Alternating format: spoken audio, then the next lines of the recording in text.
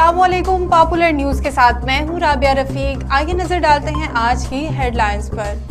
اسلام آباد میں خطاب کرتے ہوئے حفیظ شیخ نے کہا کہ حکومت کو اقتدار ملا تو معاشی صورتحال انتہائی خراب تھی، جس کی وجہ سے سولہ ماہ معاشت کو درست راہ پر گامزن کرنے میں لگ گئے۔ اس کے لیے سخت فیصلے کیے گئے۔ عبدالحفیظ شیخ نے کہا کہ اب معاشت درست رستے میں گامزن ہے اور پاکستان میں اب سرمایہ کاری بڑھ رہی ہے۔ چار ماہ میں کرنٹ اکاؤنٹ خسارے میں بھی کمی آئی اور سرمایہ کاری میں دو سو فیصد اضافہ ہوا، لیکن ملکی معاشت کو تاحال مشکلات کا سامنا۔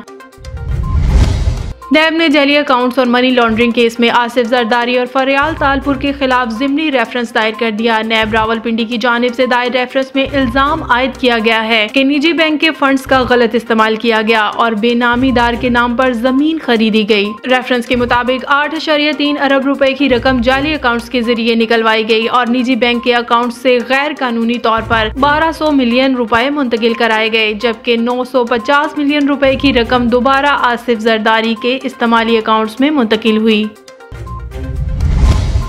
Hyderabad additional director social welfare Mahboob Zaman youth welfare ہسپتال میں ٹائیفائڈ سے بچاؤ کے ٹیکوں اور ایمرجنسی کے لیے incharge urban health unit doctor Mahmood Khan کی جانب سے فوری طبی امداد کے یونٹ قائم کر لیے گئے۔ اس موقع پر یوتھ ویلفیئر کے بانی سید فہیم الدین ڈاکٹر محمود خان اور ویلفیئر کے عہدیداران بھی موجود تھے۔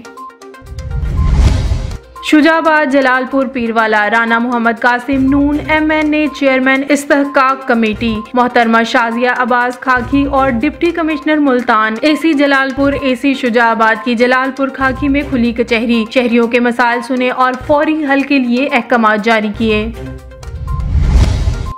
اوستا محمد میں قتل ہونے والے دو سگے بھائیوں کے قتل کا واقعہ۔ ذاتی رنجش کے باعث پیش آیا۔ ملزمان کی گرفتاری کے لیے خصوصی پولیس کی ٹیمیں تشکیل دے دی گئی اندرون بلوچستان اور سندھ میں ملزمان کی گرفتاری کے لیے چھاپے مارے جا رہے ہیں۔ ملزمان جلد قانون کی گرفت میں ہوں گے۔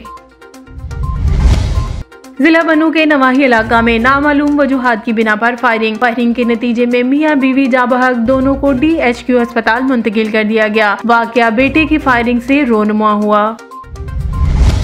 سیلف ڈیفنس کک باکسنگ، ضلع ہرنوئی، آل بلوچستان مقابلے میں تین کھلاڑیوں نے تین گولڈ میڈل اپنے نام کرائے۔ کک باکسنگ کے ضلعی صدر سید نوران شاہ نے امید ظاہر کی ہے کہ انشاءاللہ کھلاڑی آئندہ بھی اسی طرح محنت کر کے ضلع کا نام روشن کریں گے اور آنے والے نیشنل گیم میں بھی حصہ لیں گے۔